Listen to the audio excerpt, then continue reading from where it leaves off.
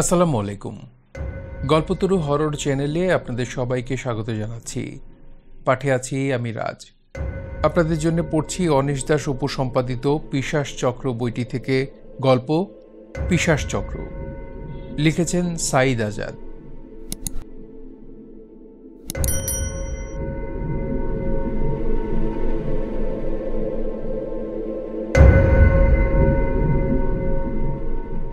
শ্রাবণ মাস। ভরা বর্ষা। সকাল থেকে মেঘ জমছিল আকাশ জুড়ে। সন্ধ্যের মুখে শুরু হলো মুসুলধারে বর্ষণ। শায়লা ভাবির তাগাদায় ওরা আজ রাতের খাবারটা একটু তাড়াতাড়ি সেরে ফেলল। ভাবি বলছিলেন, একটু পরে নাকি চলে যাবে বিদ্যুৎ। রোজ এ সময় যায়। তা খাওয়ার আয়োজনটা হয়েছে বেশ। ওরা চার বন্ধু বলতে গেলে সারাদিনে অভুক্তই ছিল। সবাই খেলো যাকে বলে একেবারে গান্ডে পিণ্ডে অন্যরাও খেয়েছেন মন্দ না। বাড়ি থেকে আনা পাওয়া ঘিয়ের ভুনা খিচুড়ি, পদ্মার ইলিশ ভাজা, হাঁসের ভুনা মাংস, মুচমুচে ভাজা আলু, সাথে আমড়ার আচার। সব মিলিয়ে খাওয়াটা হয়েছে জম্পেশ। এমন ধুম বৃষ্টিতে মেনু হিসেবে খিচুড়িটাই ছিল জুৎসই। খেতে খেতে ভাবির রান্নার প্রশংসা করেছে সবাই। ওরা চার বন্ধু, শফিক, সবুজ, সাইফুল, রফিক। বেড়াতে এসেছে সবুজের চাচাতো ভাই রেজাউলের বাসায়। নিচক বেড়াতেই এসেছে ওরা তা নয়, পেছনে উদ্দেশ্য আছে। কি উদ্দেশ্য? না, ওরা চার বন্ধু মিলে একটা ক্লাব করেছে। অদ্ভুত কাহিনী সংগ্রহ ক্লাব, সংক্ষেপে অকাশ ক্লাব। যত অদ্ভুত আর অবিশ্বাস্য কাহিনী সংগ্রহ এ ক্লাবের কাজ। রেজাউল রেজা ভাইয়ের বন্ধু শ্রীকান্ত ওদের আজ একটা ঘটনা শোনাবেন।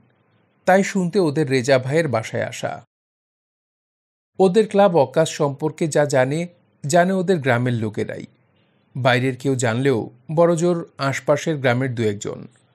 তাও ওদের চারজনের সাথে পরিচয় সুবাদে।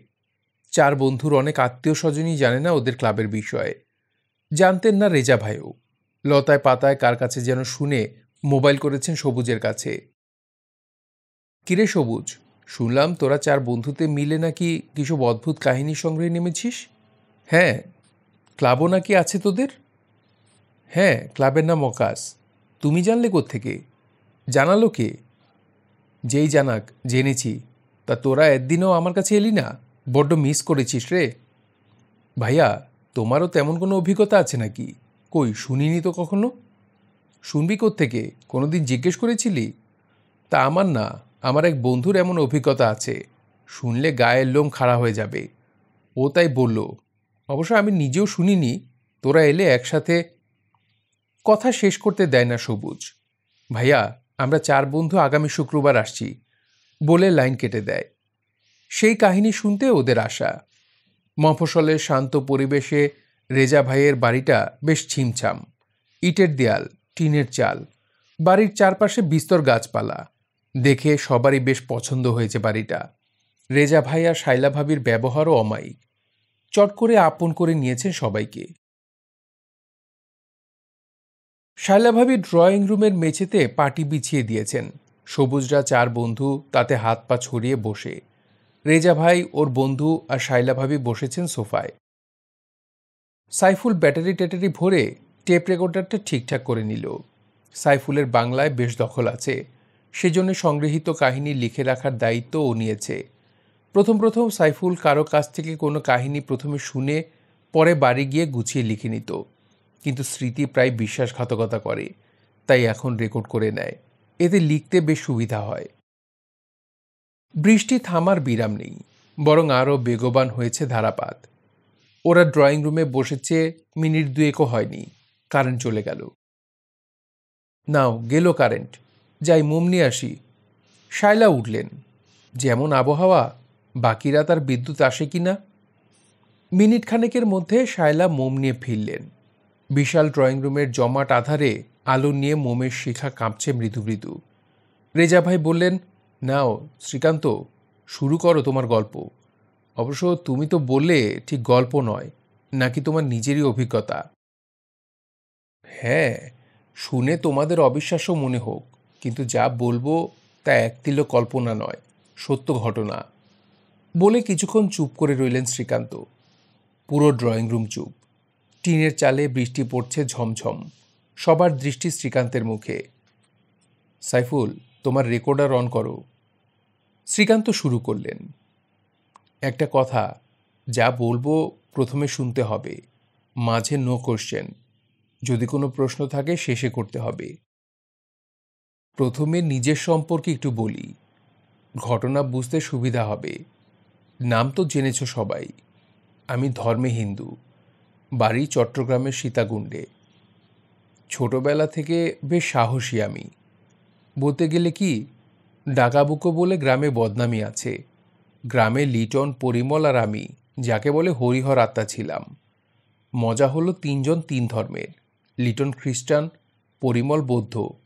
তবে বন্ধুত্বে ধর্ম কোনো বাধা হয়নি। নয় বছর আগের কথা। তখন আমি পড়ি চট্টগ্রাম ইউনিভার্সিটিতে। হলে থাকি। রোজার বন্ধে বাড়ি যাচ্ছিলাম। পথে একটা অ্যাক্সিডেন্ট হওয়াতে মেলা গাড়ি ভাঙচুর হলো। আমাদের গাড়ির চালক ভয়ে এগুচ্ছে না। সামনে সার সার গাড়ি থেমে আছে।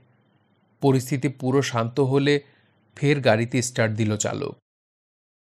স্বাভাবিকভাবে পৌঁছতে দেরি হলো। বেশ রাতে পৌঁছলাম। বাস থেকে পাকা সড়কে নেমে অনেকটা দূরে আমাদের গ্রাম। গ্রামে যাওয়ার কাঁচা রাস্তা আছে। সাধারণত রিক্সায় যাই আমি। গ্রাম এলাকা। অত রাতে রিক্সা না পাওয়াটাই স্বাভাবিক। তাই শীতকাল। তবুও কিছুক্ষণ অপেক্ষা করলাম। যদি কপাল গুনে পেয়ে যায় কোনো রিক্সা কেউ কেউ বেশি ভাড়ার লোভে অনেক রাত পর্যন্ত রিক্সা নিয়ে দাঁড়িয়ে থাকে। দাঁড়িয়ে কিছুক্ষণ মশার কামড় খেলাম। না গুড়ে বালি। অগত্যা চরণী ভরসা। শুরু করলাম হাঁটা। তখন ছিল মাঘ মাস। বলে, মাঘে শীতে, বাঘে কাঁপে। এতক্ষণ ঝোপাল একটা গাছের নিচে দাঁড়িয়েছিলাম বলে অতটা বুঝিনি। খোলা রাস্তায় কুয়াশার মধ্যে হাঁটতে গিয়ে টের পেলাম কথাটা সত্যতা। শীত যেন কামড়ে ধরল সর্বাঙ্গ। কিছুক্ষণ হাঁটতেই হাত পা কেমন অসার হয়ে আসছিল। চারদিক নির্জন, কুয়াশায় মোড়া। ঝিঝির ডাক ছাড়া কোনো শব্দ নেই। ঝিঝির ডাকের চেয়ে নিজের দাঁতে দাঁত ঠোকার শব্দই বেশি কানে বাজছিল। কপাল ভালো, চাঁদ ছিল আকাশে, তাই ঘন কুয়াশায়ও পথ দেখা যাচ্ছিল। মাথার উপর চাঁদ, কাঁধে ব্যাগ, সড়ক ধরে হাঁটছি হাঁটছি আর হাঁটছি। পথ যেন ফুরায় না। গ্রামের সীমানায় পৌঁছতে রাত তিনটা বেজে গেল। কি মনে করে ঘড়ি দেখেছিলাম, তাই ঠিক সময়টা বলতে পারছি। তা হাঁটতে হয়েছিল প্রায় মাইল পাঁচেকের মতো। গ্রামে ঢোকার পথ দুটো, একটা সোজা সড়ক ধরে, অন্যটা আড়াআড়ি। শ্মশানের ধার ঘেঁষে। সড়ক ধরে গেলে বেশি দেরি হবে, অতটা পথ হেঁটে ক্লান্ত লাগছিল। শীতে তো কাঁপছি। তাড়াতাড়ি হবে ভেবে সড়ক ছেড়ে আড়াআড়ি পথটাই ধরলাম। আর সব শ্মশানের মতো আমাদের গ্রামের শ্মশানটারও নানা রটনা ছিল। আগেই বলেছি, স্বভাবে বেশ ডাকাবুকো ছিলাম। তাই শ্মশানটা আমার মনে কোনো ভয় জাগাতে পারল না। বলতে কি, বাজি ধরে লিটন, পরিমল, আমি, শ্মশানের যে ভাঙা মন্দির আছে, তাতেও রাত কাটিয়েছি অনেক দিন যা হোক, হাঁটছি যতটা জোরে হাঁটা সম্ভব। শ্মশানটার কাছাকাছি হতে থমকে দাঁড়ালাম। দেখি কি, পথের ধারের বড় তেঁতুল গাছটার তলে উমাগো শ্মশান তেঁতুল গাছ, তাই অত রাতে? কি দেখলেন? কি দেখলেন দাদা? শায়লার রেজাউলের কাজটা একটু সরে আসেন। বাধা পেয়ে থামলেন শ্রীকান্ত। চুপ করে রইলেন কিছুক্ষণ। তেঁতুল গাছটার কাছাকাছি হতে দেখি, ফের বলতে শুরু করলেন শ্রীকান্ত। কি একটা ঠ্যাস দেওয়া গাছটাতে। কিছুটা মানুষের মতো মনে হচ্ছিল। তেঁতুল গাছটায় ছায়া ছায়া হওয়াতে ঠিক কী ওটা ঠাওর করতে পারছিলাম না। তবে অভিজ্ঞতায় জানি, অনেক সময় আলো আধারিতে গাছের ডাল বা ওই ধরনের কিছু মানুষের আদল পেয়ে যায়। হয়তো সেরকম কিছু একটা হবে। যে স্থানার কাল, তাতে যে কোনো মানুষেরই ভয় পাবার কথা। অমন যে আমি, আমারও একটু একটু ভয় করছিল। অন্য সময় যতবার শ্মশানে এসেছি, দল বেঁধে এসেছি। আজ তো একা। কিন্তু তাই বলে এমন ভয়ও পাইনি যে নড়ার শক্তি ছিল না। মনে মনে ভগবানকে স্মরণ করে পা বাড়ালাম। দুপা যেতেই তেঁতুল গাছটা যেন একটু নড়ে উঠল। কিরে, শ্রীকান্ত নাকি? কথা বলে উঠল স্পষ্ট গলায় কেউ। গলা শুনে মুহূর্তেই উবে গেল সব ভয়। স্বস্তির নিঃশ্বাস ফেললাম। পরিমল পরিমলের এই এক বিদঘুটে অভ্যেস, রাত বিরাতে ঘুরতে বের হওয়া। বিশেষত চাঁদনি রাত হলে তো কথাই নেই, সারা রাত গ্রামময় ঘুরে বেড়াবে। এ কারণে গ্রামের অনেকেই ওকে পাগল বলে। তা আমিও মাঝে মাঝে রাতে বেরিয়েছি ওর সাথে, গ্রামে থাকতে। হ্যাঁ রে, আমি আমি সারা দিই। পরিমল না? পরিমল বেরিয়ে এলো চাঁদের আলোয়, বলল, তুই এত রাতে আসছিস থেকে আর বলিস না পথে একটা অ্যাক্সিডেন্ট হওয়াতে দেরি হয়ে গেল। তা তুই ঘুরতে বেরিয়েছিস বুঝি? দেখছিস না, কেমন থই থই করছে জ্যোৎস্না। ঘরে বসে থাকা যায়? তুই তো দেখি কাঁপছিস ঠকঠক করে। কাঁপবো না, এতটা পথ হেঁটে এলাম কুয়াশার মধ্যে। সোজা শীতটা পড়েছে। তুই কি এখন বাড়ি যাবি? না আরও ঘুরবি? বাড়ির কথা ভুলে যা, রাত তো শেষ হয়ে এলো প্রায়। একেবারে সকালে গিয়ে নাস্তা খেয়ে ঘুম দিস। এখন চল তো আমার সাথে। কোথায়? আমি অবাক। এত রাতে তুই যাচ্ছিলি যা, আমি বাড়ি যাব, জমে যাচ্ছি শীতে। আরে, আয় তো, গেলে শীত পালাবে। পরিমলকে জানি, কোনো অজুহাতই খাটবে না। একবার যখন বলেছে, তখন নেবেই। অগত্যা, পিছু নেই ওর। আমাকে সাথে নিয়ে পরিমল শ্মশানের ভাঙা মন্দিরের কাছে এসে দাঁড়ায়। মন্দিরের চাতালটা বেশ আলোকিত দেখাচ্ছিল। আলোটা ঠিক চাঁদের না, আর একটু জোর আলো চাতালে উঠতেই মন্দিরের ভিতরে চোখ গেল। দাউ দাউ করে আগুন জ্বলছে মন্দিরের ভিতরে। বুঝলাম, তার আলোয় এসে পড়েছে বাইরে। আমি জ্বেলেছি আগুন, পোয়াবি, চল। পরিমল আমার হাত ধরল, চমকে উঠলাম। কুয়াশার মধ্যে হেঁটে এসেছি। আমার হাত পা তাতে বরফ হয়ে গেছে পরিমল আমার হাত ধরাতে যেন ঠান্ডায় কামড়ে ধরল আমার হাত। না জানি কতক্ষণ ধরে ঘুরছ। খামোখা গ্রামের লোক তোকে পাগল বলে? এত রাতে শ্মশানের মন্দিরে আগুন জ্বেলেছিস, পোয়াবি বলে। পারিসও তুই পরিমল? অত ফ্যাচ ফ্যাচ করিস না তো। আয়, ভেতরে আয়।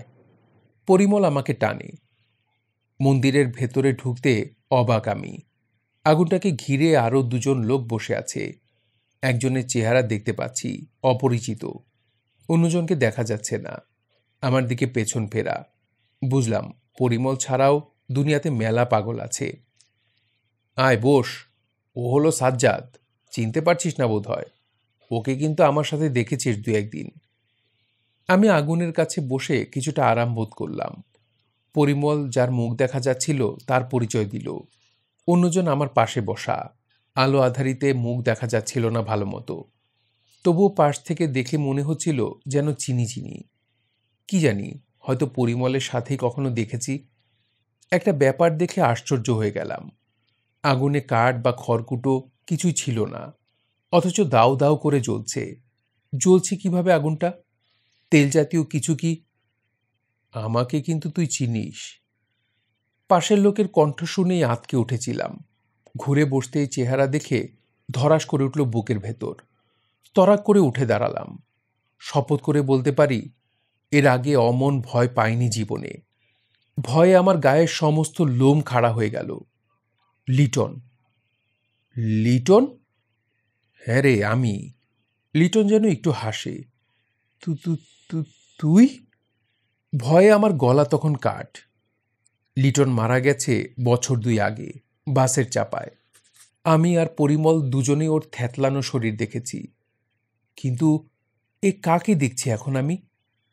আমি পরিমলের দিকে তাকালাম একবার। মনে পড়ল, ও যখন হাত ধরেছিল আমার, ঠান্ডা যেন দাঁত বসিয়েছিল হাতে। কোনো জীবিত মানুষের হাত অমন ঠান্ডা হতে পারে? আমি চকিতে তিনজনের পেছনে তাকালাম। আগুনে বাধা পেয়ে কারও ছায়ে পড়েনি পেছনে।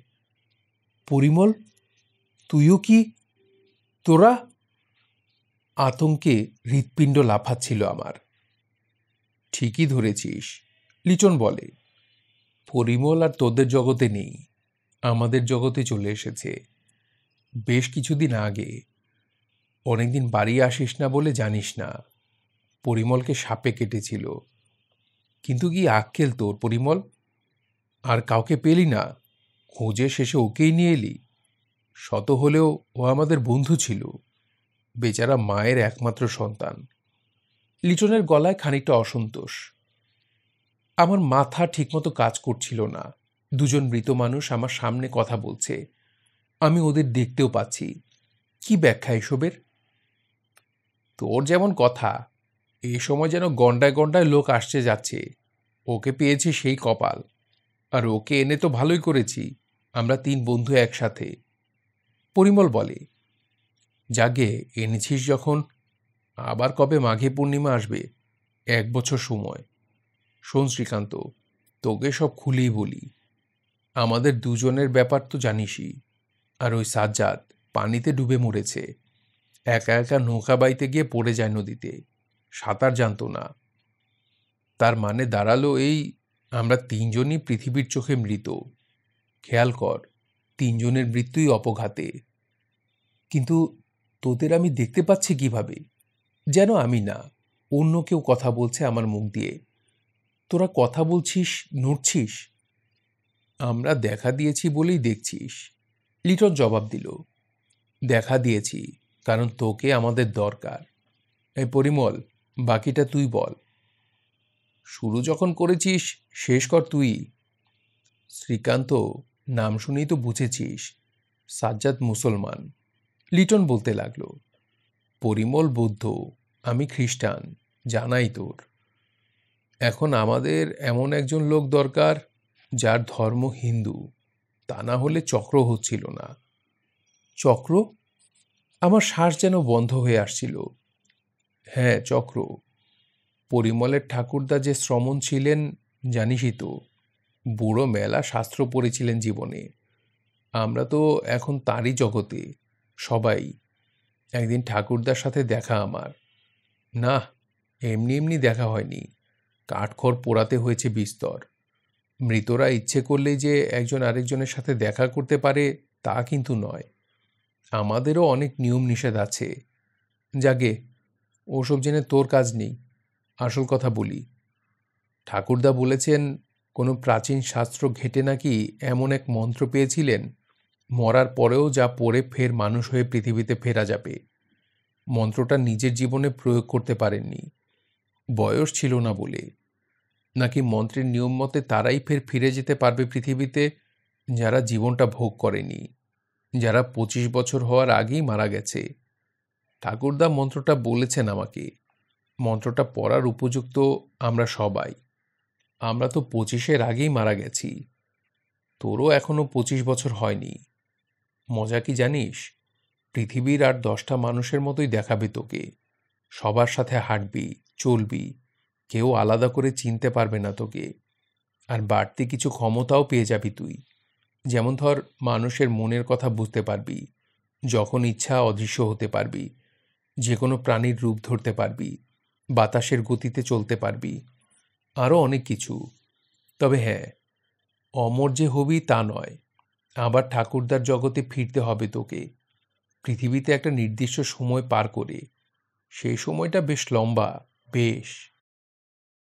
সাতকাহন বাদ দিয়ে আসল কথা বল।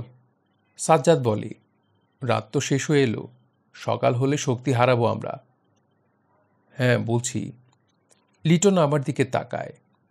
তা বিশেষ একটা পূর্ণিমা ছাড়া চক্রটা সম্পূর্ণ হবে না। মন্ত্রটাও পড়া যাবে না। আজ সেই পূর্ণিমা।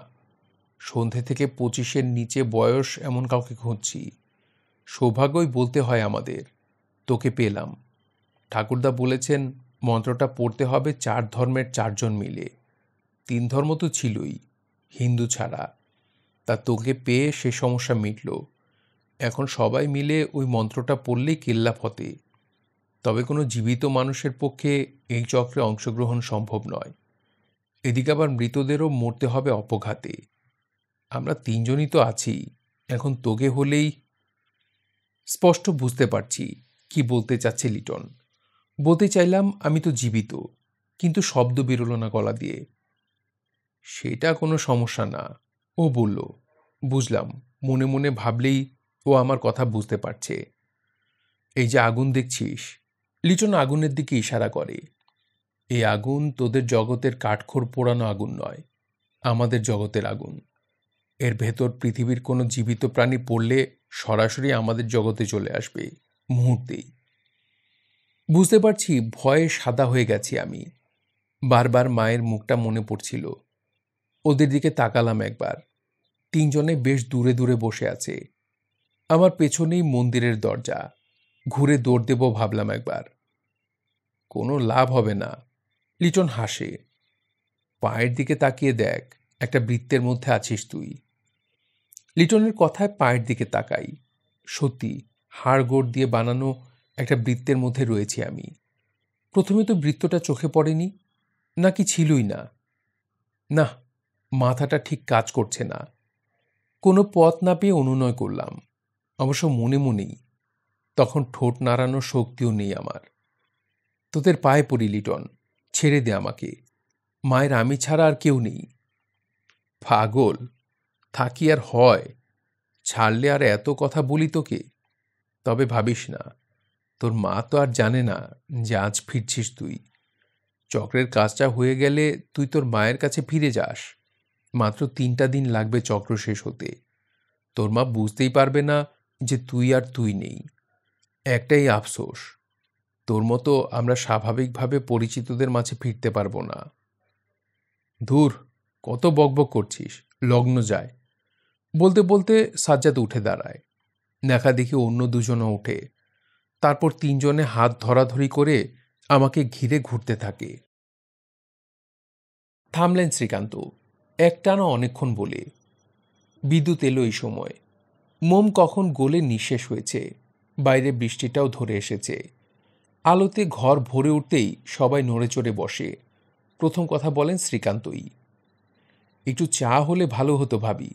চা খেয়ে বাকিটা বলি। সাইফুল, কিছুক্ষণ তোমার রেকর্ডটা বন্ধ রাখো। বাবা কি গল্প শোনাচ্ছেন ভাই? শায়লা উঠলেন। একা একা রান্নাঘরে যেতে তো ভয় লাগছে। এই সবুজ, একটু সাথে এসো না ভাই। শ্রীকান্ত মৃদু হাসলেন। সবুজ ভাবের সাথে গেল। ভাবি, অন্ধকারে গল্পটা ভালো লাগছিল। আলোটা অফ করে দিলে হয় না? সাইফুল বলে চা শেষ করে। তা মন্দ বলেনি সাইফুল। অন্ধকারে আমরাও যেন শ্রীকান্তর সাথে মন্দিরে ছিলাম। রেজা ভাই বলেন, শায়লা, আলোটা বরং নিভিয়ে দাও। তোমার কোনো আপত্তি নেই তো শ্রীকান্ত? বিন্দু মাত্র না। শায়লা লাইট অফ করলেন। সাইফুল রেকর্ডার অন করল। ওরা তিনজন ঘুরছে, হাত ধরাধরি করে। আমাকে আর আগুনকে ঘিরে। শ্রীকান্ত সবাইকে ফের শ্মশানের ভাঙা মন্দিরে নিয়ে গেলেন। ধীরে ধীরে ওরা আমাকে ঠেলছে আগুনের দিকে। স্পষ্ট বুঝতে পারছি, আগুনে ফেলে দেওয়া হবে আমাকে। আমাকে ঘিরে ওদের বৃত্তটা ক্রমশ ছোট হচ্ছে। অমন মাঘের শীতও দরদর করে ঘামছি আমি। ওদের বৃত্ত আরও ছোট হলো। আরও আমার গায়ে আগুনের ছ্যাঁকা লাগছে। হঠাৎ সমস্ত চরাচরের স্তব্ধতা খান খান করে অট্ট হাসিতে ফেটে পড়ল তিনজনে। সমস্ত শ্মশান কেঁপে উঠল ওদের হাসিতে। পাখিদের চিৎকার শুনে বুঝলাম ওরা নির্ছেড়ে পালাচ্ছে। কিছুক্ষণ পর দেখি ওদের শরীর থেকে মাংস খসে খসে পড়ছে। ভয় পাবার বোধ অনেক আগেই নষ্ট হয়ে গেছে। আমার বিস্ফারিত চোখের সামনে দেখতে দেখতে ওদের শরীরের সমস্ত মাংস খসে পড়ল। সাদা ঝকঝকে কঙ্কাল হয়ে গেল তিনজনে। ওদের মাংসহীন চোয়ালে ঠকঠক শব্দ হচ্ছে। বিকট হাসির শব্দ পাচ্ছি তখনও। আমার শরীর বিবশ হয়ে আসছে। আচমকা হাসতে হাসতে তিনটা কঙ্কাল আমাকে নিয়ে ঝাঁপিয়ে পড়ল আগুনে। আগুনে? হঠাৎ চাপাসরে চিৎকার করে উঠল রফিক। আপনি এখন? না না, ভয় পাওয়ার কারণ নেই। আমি আগুনে পুড়ে মরিনি। সবটা আগে শোনো। প্রথমেই কিন্তু বলেছিলাম, সবটা না শুনে কোনো কথা বলবে না। তিন কঙ্কাল মিলে যখন আমার উপর ঝাঁপিয়ে পড়ল, ঠিক তখনই শুনতে পেলাম গ্রামের মসজিদে ফজরের রাজান হচ্ছে। সাজ্জাদ ঠিকই তাড়া দিয়েছিল। সময় যায়। তেমন কিছু হয়নি আমার। কপালটা একটু কেটে গিয়েছিল, এই যা। জ্ঞান হারিয়ে ফেলেছিলাম। আতঙ্কে না আঘাতে ঠিক মনে নেই। জ্ঞান ফিরতে দেখি বেশ সকাল হয়ে গেছে। গাছের ডালে পাখি ডাকছে কিচিরমিচির। কোথায় পরিমল, কোথায় আগুন, কোথায় বা হাড়ের বৃত্ত? ধুলোমলিন মন্দিরের মেঝেতে মুখ থুবড়ে পড়ে আছি। সন্দেহ হলো, যা ঘটল বাস্তব নাকি স্বপ্ন? কপালে হাত ঠেকাতে রক্ত লাগল হাতে। না নিশ্চিন্ত হলাম। যা ঘটেছে সত্যই। থামলেন শ্রীকান্ত। ও, তাই বলুন, শায়লা অন্ধকারে হাতড়ে লাইট জ্বালালেন। শীতের হাত থেকে বাঁচতে আপনি মন্দিরে ঢুকেছিলেন। ওসব নিশ্চয়ই ঘুমের মাঝে স্বপ্নে ঘটেছে। বাবা, দারুণ ভয় পাইয়ে দিয়েছিলেন। প্রায় তো বিশ্বাসই করে ফেলেছিলাম। আগেই তো বলেছি বিশ্বাস করা না করা, তবে যা বলেছি সত্যিই বলেছি। কারণ আরও একবার ওরা কথা শেষ করলেন না শ্রীকান্ত, অন্য প্রসঙ্গে চলে গেলেন। জাগে, বড্ড ঘুম পেয়েছে ভাবি, কোথায় শোবো দেখিয়ে দিন। কারও কিছু জানার থাকলে সকালে যেন।